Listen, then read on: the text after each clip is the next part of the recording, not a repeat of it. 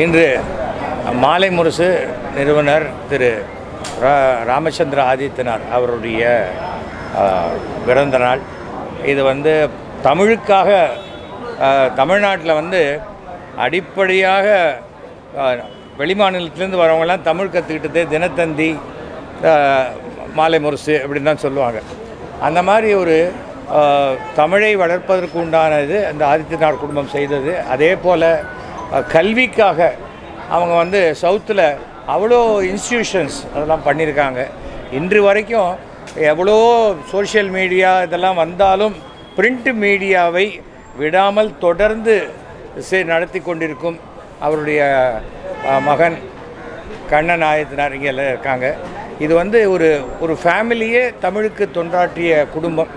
இது வருஷா வருஷம் இங்கே வந்து இந்த மரியாதை செலுத்தலை நான் ரொம்ப பெருமைப்படுறேன். ஏனென்றால் ஒன்று நாம் தமிழுக்கு செய்யணும். இல்லை தமிழுக்கு செய்தவர்களுக்கு நம்ம மரியாதை செலுத்த வேண்டும். அந்த வகையில் நான் இங்கே வந்துட்டு போகிறத ஒரு கௌரவமாக நினைக்கிறேன்.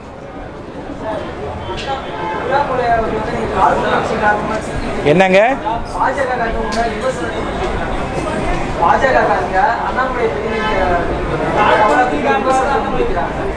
கொதிக்கிறாங்களா? ஆ? அது அவங்க சொல்கிறாங்க அவங்க அது அது அவங்க கருத்து. அவங்க சொல்லிட்டு போட்டோம். அவ்வளோதான் நான் வந்து தமிழக பாஜக வளர வேண்டும் என்பதற்கான கருத்துக்களை நான் சொல்கிறேன் இதை நான் என்ன கருத்துக்களை சொல்கிறேனோ அதை மோடி அமித்ஷா அவர்களுக்கும் நான் அனுப்பிச்சி வைக்கிறேன். நான் ஒன்றும் ரகசியமாலாம் செய்யலை. தமிழக பாஜக தலைவராக வரணுங்கிற ஆசையெல்லாம் எனக்கு கிடையாது. நான் பாஜகவில் விரும்பின ஒரு மிஸ்டு கால் உறுப்பினர் மாதிரி தான் ஆனால் நான் நரேந்திர மோடி அவர்களுடைய பத்தாண்டுகளுக்கு மேலாக நண்பராக இருக்கிறேன்.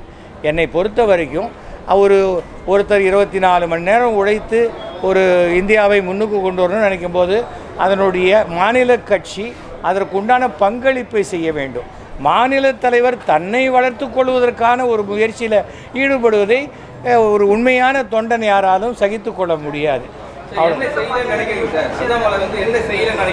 அவர் எதுவுமே செய்யலைங்க. அவர் தன்னை வளர்த்துக் கொள்வதை தவிர அண்ணாமலை அண்ணா அண்ணா இப்படியெல்லாம் சொல்லி தன்னை வளர்த்துக்கிறாரு.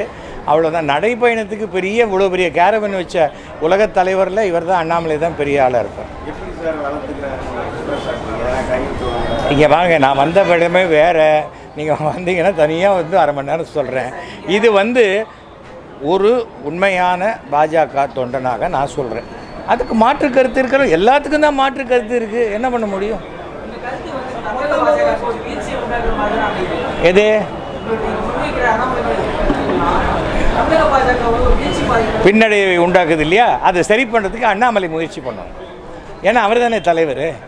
ஏனென்றால் ஊர் கூடித்தான் தேர் இழுக்க முடியும். நீ வேணா நீ வேணா நீ வேணா நீ வேணான்னா அனாதையாக தான் நிற்கணும் அதைத்தான் செய்து கொண்டிருக்கிறார். அவருக்கு வேணுங்கிற ஒரு பத்து பேரை வச்சுக்கிட்டு இப்போ நடந்த இந்த நடைப்பயணத்தினால் என்ன பிரயோஜனம் நடக்கும்? ஒரு பிரயோஜனமும் கிடையாது. அவருக்கு வேணால் டெய்லி அரை பக்கம் கால் பக்கம் அவருடைய ஃபோட்டோ வரலாம். என்ன ஒரு ஒரு ஓட்டு மா ஒரு ஒரு ஓட்டையாவது நாம் வாங்கி கொடுப்பதற்குண்டான முயற்சியை செய்தால்தான் அது உண்மையான முயற்சி.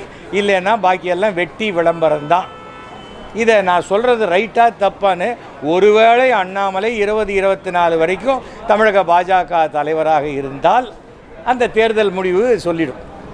அவ்வளோதான் மோடி அவர்கள் மூன்றாவது முறையாக இந்தியாவினுடைய பிரதமராக கண்டிப்பாக ஃபுல் மெஜாரிட்டியோடு வருவார். ஆனால் அண்ணாமலை இருக்கிற வரைக்கும் தமிழ்நாட்டுடைய பங்களிப்பு அதில் இருக்கவே இருக்காது.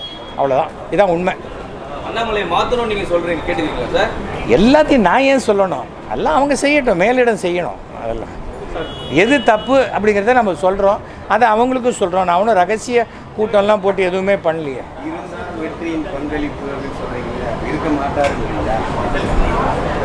ஆமாம் இருக்க மாட்டார். அதிமுக கூட்டணி உறுதி செய்யப்பட்டு விட்டது. அந்த மாதிரி சூழ்நிலையில் அண்ணாமலை இருந்தால் அதிமுகவுடைய ஒரு ஓட்டு கூட பிஜேபிக்கு விழாது. ஏனென்றால் இவர் வந்து ஜெயலலிதா அவர்களை பற்றி தவறாக பேசியதை தலைவர்கள் மன்னித்தாலும் பெருந்தன்மையுடன் அடிமட்ட அதிமுக தொண்டன் மன்னிக்க மாட்டான். இதான் உண்மை. யதார்த்த நிலவரத்தை நான் சொல்கிறேன் ஒரு கூட்டணின்னு சொல்லிட்டு கூட கூட்டு காரி துப்பினே இருந்தால் எப்படி சரியாக வரும்? நல்லா இருக்காது. உலகத்திலே இவர்தான் நேர்மையானவர் மாதிரியும் ஊழலற்றவர் மாதிரியும் பேசிக்கிட்டே இருந்தால் சரியாக வராது. தொடர்ந்து ஒரே விஷயத்தை திருப்பி திருப்பி சொன்னால் கோபத்துக்கு பதிலாக அனுதாபம் ஏற்பட்டு விடும் அரசியல் தெரியாதவர் அண்ணாமலை. அவர் தான் போலீஸ்லேருந்து வந்தார். அவ்வளோதான் அதுக்கு மேலே அவருக்கு ஒன்றும் தெரியறதுக்கு வாய்ப்பு இல்லை. தெரிஞ்சுப்பார் இனிமே. அரசியல்னா என்னன்னு தெரிஞ்சுப்பார் அவருக்கு தெரிய வைக்கப்படும். ஊழல் நான் ஊ அவர் அவர் ஊழலற்றவர் ஊழல் ஆகுதுன்னு சொல்லலையே நான் என்ன சொன்னேன் சரி, சொல்லுங்க. ஊழலை பற்றி பேசிட்டே இருந்தால் போருமான்னு கேட்டேன். ஓகே நன்றி.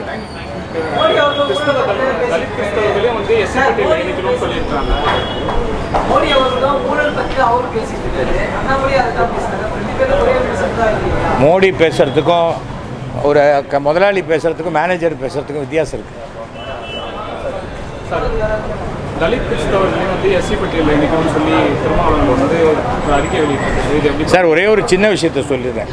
ஒரு சினிமா நடிகர்னா அவருக்கு அத்தனை நாலேஜ் இருக்கும் தயவு செஞ்சு கேட்டுறாதீங்க.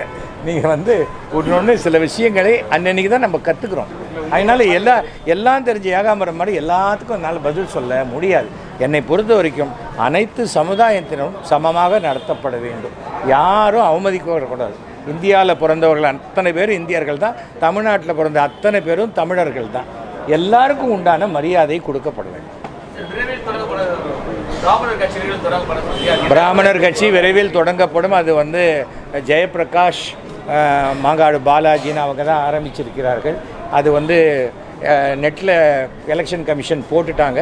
இன்னொரு ஒரு வாரத்துக்குள்ள அங்கீகாரம் வந்துவிடும் அது வந்து அறவோர் முன்னேற்றக் கழகம் அப்படின்னு பேர் அதுக்கு. அது வந்து தமிழ்நாட்டில் மு முப்பத்தி மூணு தொகுதியிலையும் பிராமணர்கள் நிற்க வைக்கப்படுவார்கள் அப்புறம் பாக்கி ஏழு தொகுதியில் இணக்கமாக உள்ள அனைத்து அந்த ரிசர்வ்டு தொகுதியிலையும் அவர்களையும் நிற்க வச்சு அவர்களுக்கும் பிராமணர்கள் தான் ஓட்டு போடுவாங்க. பொறுப்பு நான் எனக்கு பொறுப்பா? இல்லையே நானே ஒன்றும் பொறுப்பு எடுத்துக்கலையே. நான் அந்த கட்சிக்கு பொறுப்பு எடுத்துக்கொள்வதாக இருந்தால் மோடி அவர்கள்ட்ட சொல்லிட்டு பாஜகவிலிருந்து வெளியே வந்து விடுவேன். வந்த பிறகு தான் அதை நான் செய்ய முடியும். அங்கே இருந்துக்கிட்டே நான் செஞ்சால் அது ஒரு துரோகம் ஆகிடும் அதை செய்ய மாட்டேன்.